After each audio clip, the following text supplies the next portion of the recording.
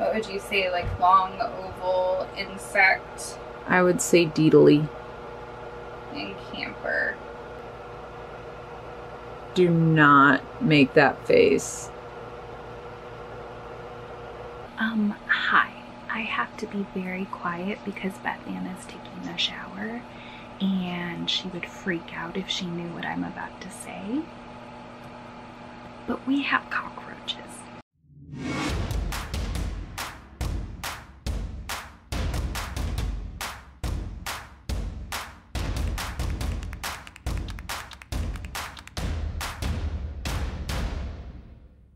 The other day when we looked under here, there were like a bunch of baby deedlies.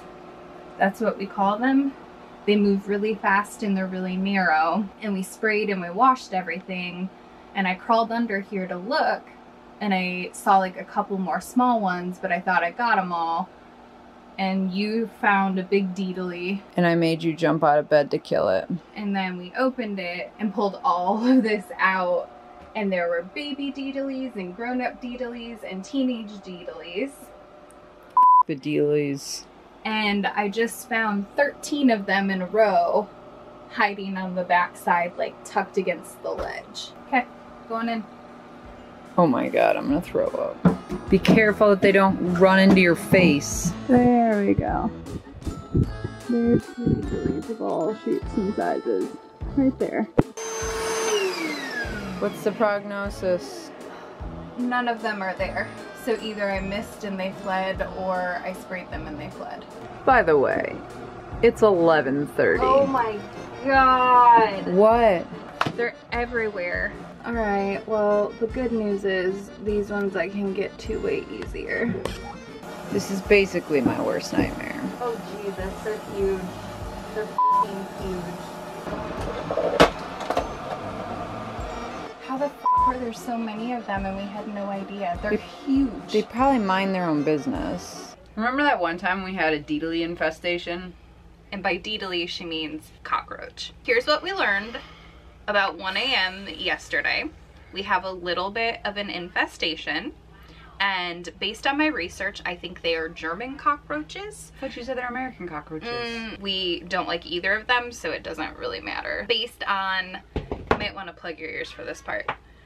Based on the egg sac. I can hear you. Okay, so based on that, I think they're German cockroaches. But here's the good news. The sac only has 30 to 40 babies in it, which is okay. Because if it was like hundreds, it was gonna be really difficult. But 30 to 40 is manageable. These crawl faster They than crawl spiders. very fast, which is why I call them Deedlies, because they go diddly diddly diddly diddly. So based on my research, we need to take everything apart in the camper, scrub it with soap and water, make sure it's dry because they like to hide in dark, moist, and warm areas. And All gross words, yeah. we've seen some babies outside of the troubled location and then we just found a really big deedly in the bathroom in our clothes. So at this point, we're just gonna take everything out, scrub it to be safe. Maybe burn the trailer.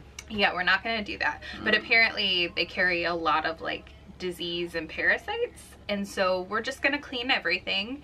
And then I have some really strong bait gel on the way from Amazon. Mm-hmm. People said it worked wonderfully and that when you put it out, you put it out throughout the whole camper because apparently they hide everywhere mm. and they found a lot more dead ones than they thought. Mm-hmm. But one little mm-hmm. bite of the gel can kill 54 of them. Yeah. That's good.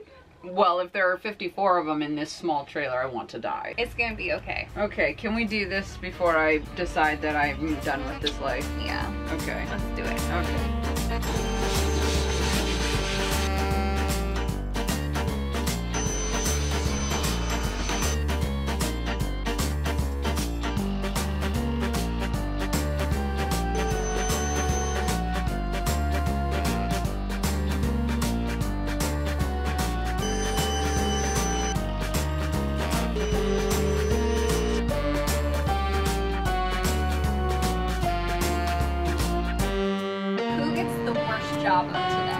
do, babe.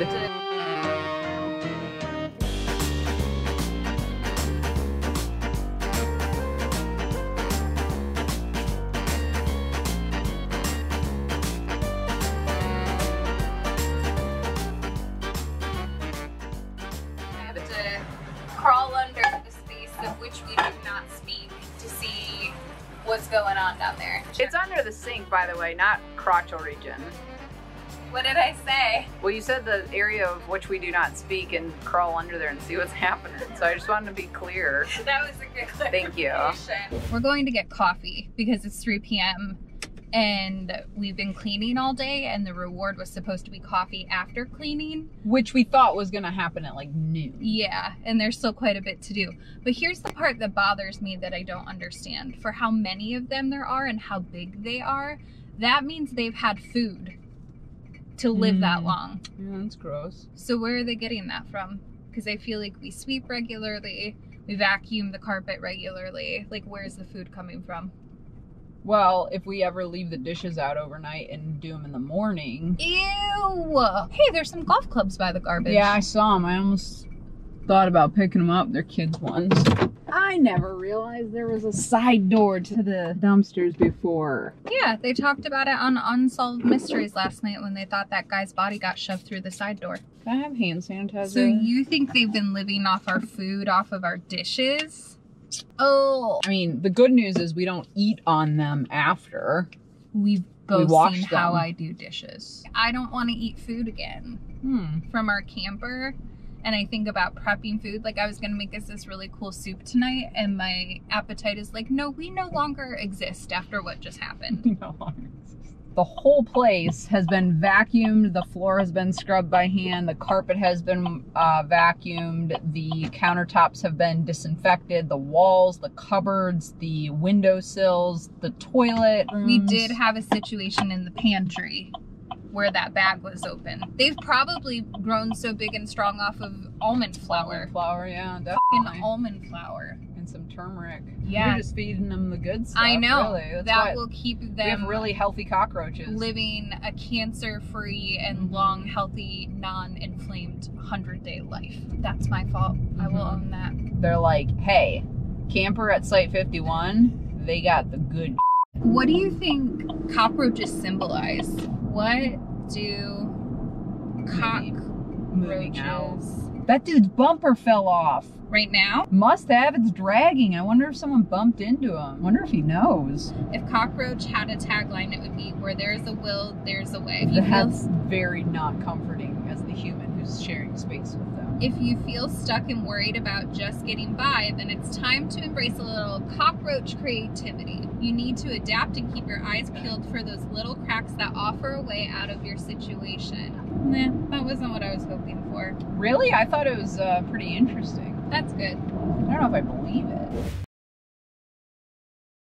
You ready to do Ladies this? and gents, this is the moment you waited for. Bum, I took out my really cute high bun that I had on point today for this, so Yeah. everyone appreciates it. Do you All right. need like my assistance? Should I be like ready with the vacuum or should I just be filming? I don't know what my role is. I think I'm gonna spray first if they're still alive, so I don't need emergency vacuum. Like I'll just keep it close to me. Okay. We literally haven't opened this since last night, since we sprayed everything. So I love you. tell them what you've been worried about. That they're gonna jump on your face And my hair. in your hair and Yeah. eat you. Mm-hmm. Sweetheart, you're not going I know, I'm so nervous for you. Be careful. Next time on the Cockroach Chronicles. One flew by my shoulder. Flew. We're so sleep deprived